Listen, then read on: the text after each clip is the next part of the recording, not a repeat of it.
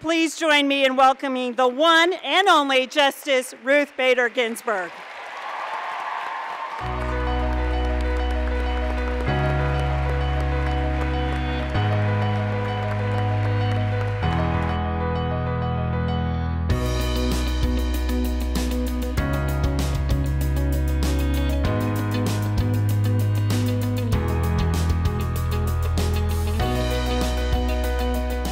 What I'm taking back from uh, Justice Ginsburg is that you need to keep pushing regardless of what obstacles are going to come your way um, and also doing so in a way that's that's legible to others. What Justice Ginsburg and the panelists demonstrated is that there is no substitute for reflectiveness, for thoughtfulness, for wondering about the relationship between the past and now.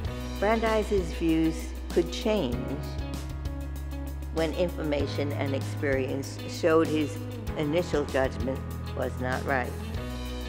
To be able to hear from Justice Ginsburg, who has so many characteristics that makes you think of Justice Brandeis, um, it's, it's remarkable.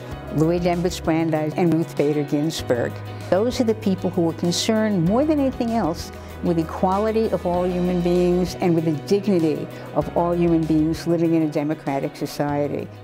He cared not only about reaching the right bottom line judgment, he cared very much about writing opinions that would enlighten other people.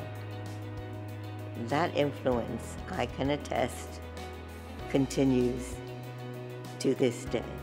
Thank you.